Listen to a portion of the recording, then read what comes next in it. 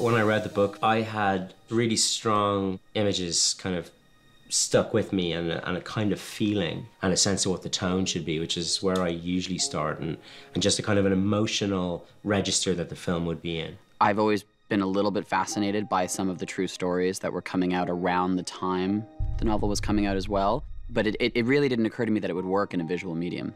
You spend 40, 50 minutes, the first half of the film will be in a room. I've never done anything quite like that. Ethan Tobman, the designer of the film, and Danny Cohen, the DP, we worked for a long time and in great detail, particularly on the room. How realistic versus how kind of fantastical do you make it? I was pretty clear from the beginning that I wanted it to feel very truthful and realistic.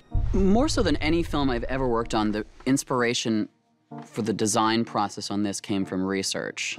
I found myself pulling obvious references like the Fritzl dungeon, Jaycee Dugard's residence, um, Ariel Castro's home, as well as the incredibly small apartments in Hong Kong and how people manage to live in tiny spaces.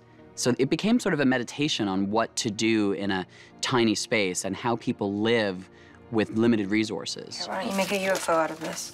So we sort of started with a very broad canvas, and it became a bit of a creative experiment of what we would do ourselves if we were stuck in a small environment with a child.